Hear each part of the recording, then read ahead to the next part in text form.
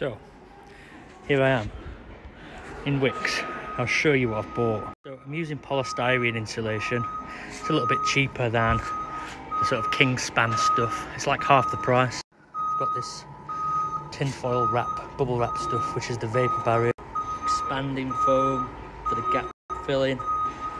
Wipes to clean the expanding foam off my hand.